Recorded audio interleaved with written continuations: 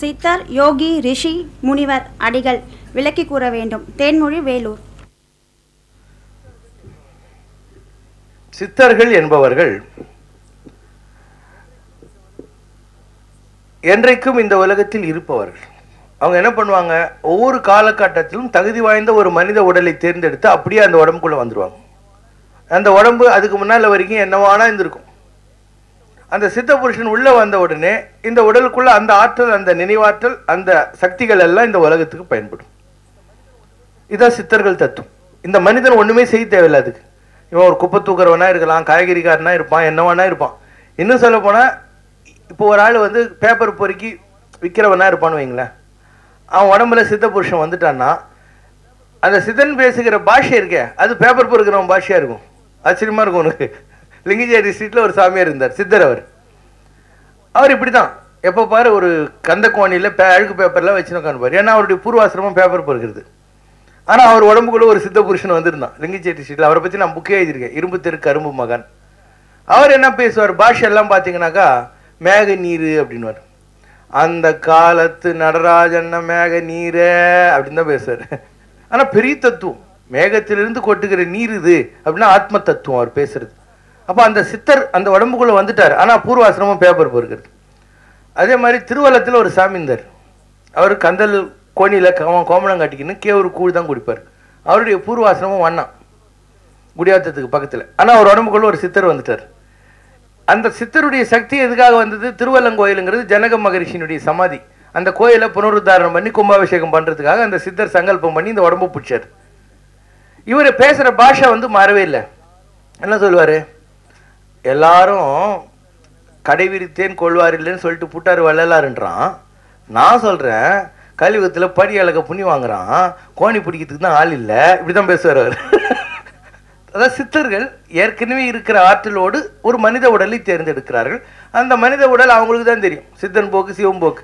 அவன் ஏழையும் தேர்ந்தெடுப்பான் பணக்காரையும் தேர்ந்தெடுப்பான் பிச்சைக்காரையும் தேர்ந்தெடுப்பான் கோழி தேர்ந்தெல்லாம் காரணம் சொல்ல முடியாது. இதுதான் சித்தர்கள் தத்துவம்.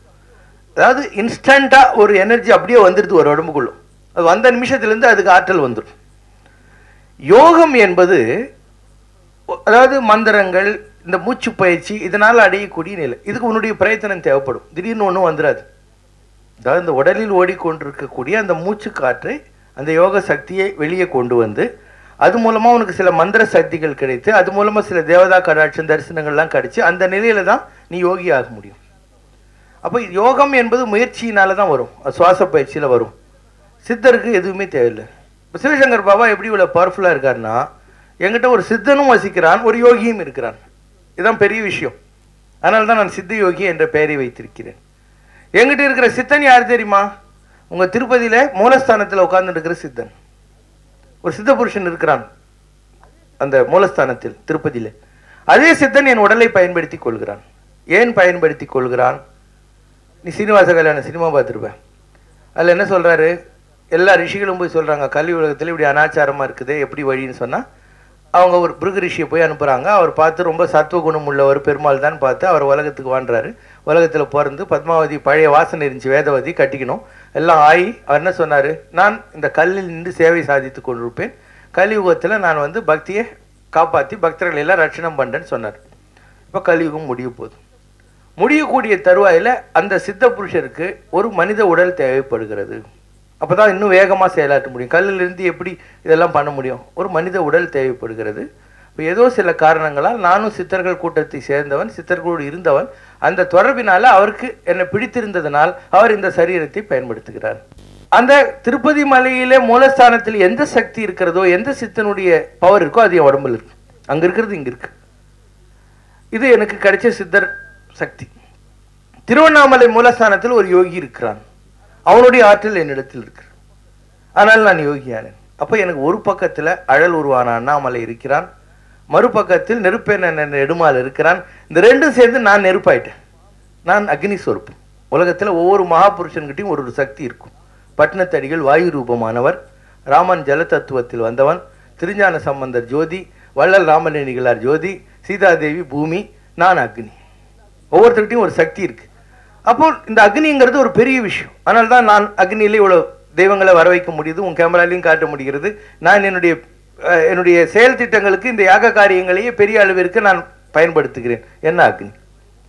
ஏன் அக்னின்னு சொன்னா போய விழையும் புகுதருவான் நின்றனவும் தீயினில் தூசாகும்.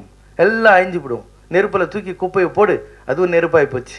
ஒரு விறகு கட்டியை தூக்கி நெருப்புல போடு விறகு எரிஞ்சு நெருப்பாயிடும். ஸோ நான் கலியுகத்தில் உங்களுடைய கர்மாக்களை எல்லாம் எரிக்க வந்தவன். உங்கள் கர்மாவை நான் வாங்கி போட்டுக்கிற போது நான் அழிஞ்சு போகக்கூடாது. உங்கள் கர்மா எங்கிட்ட வந்துடக்கூடாது ஆனால் எனக்கு இந்த அக்னி ஸ்வரூபம் தான் தேவைப்படுகிறது. உங்கள் கர்மாலாம் வாங்கி போட்டுன்னு இருக்கேன். என்ன ஒன்றும் பாதிக்காது. அதாவது எதனாலும் பாதிக்கப்படாத அந்த நிலையை நான் அடைந்து இந்த கலியுகத்தில் இதை சாதித்து கொண்டிருக்கிறது காரணம் நான் அக்னி ஸ்வரூபம் என்பதனால் ஒவ்வொரு நாளும் போய விழையும் புகுதருவான் நின்றனவும் தீயினில் தூசாகும் எனில் இங்கே வருகிற ஆயிரக்கணக்கானுடைய கர்மாக்களை நான் வாங்கி என்னுடைய யாக நெருப்பில் அழித்து கொண்டிருக்கிறேன் என்பதுதான் உண்மை. அதனால தான் இங்கே வந்தால் உங்கள் கஷ்டம்லாம் தீர்கிறது. இதை வேறு யாராவது செஞ்சால் அந்த கர்மா அவங்கள பாதிக்கும். ஏன்னா அவங்களுக்கு இந்த இந்த வேலை கொடுக்கல. சித்தர்கள் உலகத்தில் இந்த போர்ட்ஃபோலியோ அந்த மகான்களுக்கு கொடுக்கப்படவில்லை. ஒவ்வொருத்தருக்கும் ஒவ்வொரு வேலை. எனக்கு இந்த வேலை. கர்ம நிவர்த்தி கொடுக்கிறது. அதுக்கு இந்த நெருப்பு என்ற மீடியம் பயன்படுகிறது. இதான் சித்தரும் யோகியும் இணைந்து சிவசங்கர் பாபாவாக இருக்கிற நிலைமை. இப்போ சிவசங்கர் பாபா அந்த யுக காரியம் முடிஞ்சிடுச்சுன்னு வச்சுக்கோ. எங்கிட்ட இருக்கிற சித்தர் தத்துவம் யாருக்கிட்டையாவது போயிடும். எங்கிட்ட இருக்கிற யோக தத்துவம் நீ யாருக்கிட்டையாவது போயிடும்.